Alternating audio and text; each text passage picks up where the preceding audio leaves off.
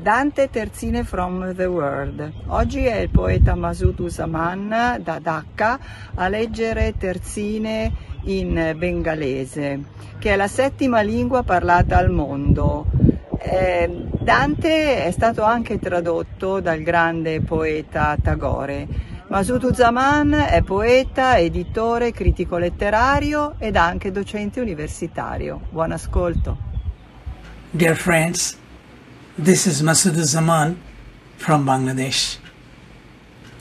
I'm really excited and feeling honored to be a part of this project. Dante is also my favorite poet. I have translated his four sets from Purgatorio and Canto number 27 into Bangla which is my mother language. Now I am reading my translation. স্বপ্নে দেখি তন্নি তরুণী সে সুন্দরী মারে। এক নারী বিস্তীর্ণ প্রান্তরে হেঁটে চলে। ফুল তোলে আর গান গাইতে গাইতে বলে, জানতে চেয়েছ কে গো? কি নাম আমার? বলি, তাকে। আমি লিয়া।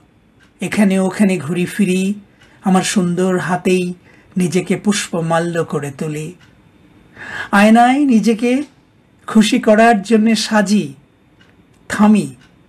কিন্তু আমার বোন র্যাচেল তার আয়নার সামনে থেকে কখনো সরে না।